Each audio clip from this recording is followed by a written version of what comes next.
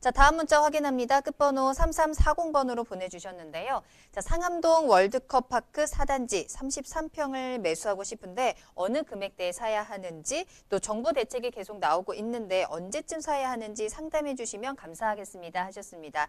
자, 상암동의 아파트입니다. 월드컵 파크 4단지 아파트인데요. 매수 시기를 한번 알아볼까요? 매수 시기 많이 질문 받습니다. 자, 그럴 때마다 제가 상담하면서 답변을 드렸던 게 뭐냐면 우리가 주변의 다주택자들, 다주택자들에 대한 규제 내용으로 인해서 다주택자 물건이 많이 나오지 않겠습니까?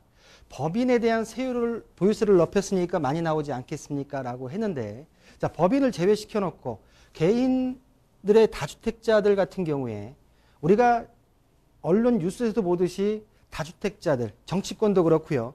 보시는 대로 대부분 1세대 1주택 1가구를 남기기 위해서는 가장 내가 선호하는 걸 남깁니다.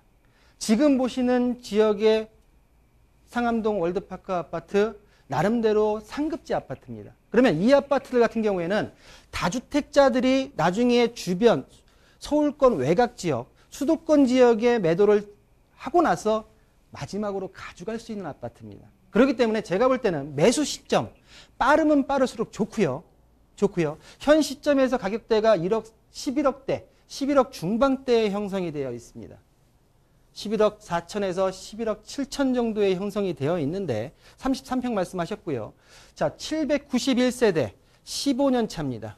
주변에 아파트들을 보시면 지금 상암중학교 바로 옆에 있는 게 지금 월드컵 파크 4단지인데요. 주변에 이 파란색으로 나뉘어져 있는 아파트들이 상급지, 1급지 아파트입니다. 보시는 대로 그 안에서 지금 4단지 같은 경우에는 평당가가 3,400 정도 나옵니다. 3,400 정도. 가장 높은 가격대의 아파트입니다. 그러면 좀 전에 말씀드렸듯이 이 아파트 같은 경우에는 이 지역 내에서 선도, 선호, 선도하는 아파트입니다. 가격대를. 이 아파트 같은 경우에 주변에 앞쪽으로는 수색역이 있고요.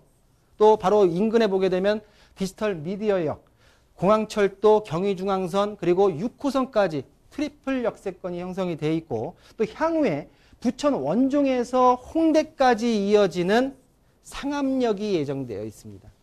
나름대로의 지역적인 부분에서도 우수하고요. 또한 본 아파트 같은 경우 그 지역 내에서도 대장주 아파트이기 때문에 시기적인 면에서는 하루라도 빨리 매입하시는 게 맞고요. 다주택자 물건이나 휴 규제 대책으로 인해서 가격이 떨어질 거라는 부분 자체는 기대하지 않는 부분 자체가 이제까지 우리가 경험을 해왔기 때문에 그런 어떤 혹시나 하는 부분으로 투자 전략을 세우신다고 하게 되면 잘못된 거고요. 제가 볼 때는 현 시점에서 가장 본인에게 맞는 금액대의 아파트를 매, 매입하시는 게 올바른 전략이 아닌가라는 부분으로 정리해 드리겠습니다.